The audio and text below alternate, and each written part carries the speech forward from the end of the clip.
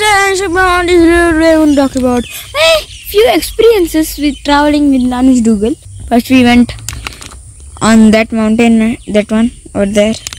Then I went to the beach. I had a very great time there when we went because I rode the scooter for the first time. I made a different video on that. It's a Activa 5G. After that uh, experience, uh, then we reached there Mattu beach. We ate ice cream and everything. After he started surfing classes for three days, I went with him for the last day. It was the end of 2022, and that day I did parasailing. Yeah, parasailing was the very greatest experience till now.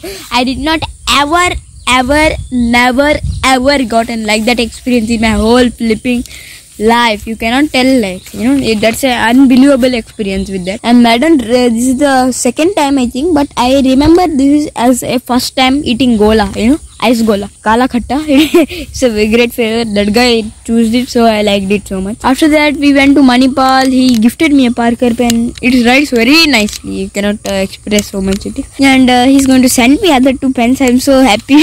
I'm just waiting for it. I had a very great experience with him. He does very good storytelling, and I still talk with him one hour from one hour yesterday and one hour today like 7 to 8 o'clock because I love to speak with him, you know, it is crazy experience. He works in Google, he used to work in Intel, so he has many unique experiences with it, you know, and a lot of great things, experiences with him. That's gonna finish this video.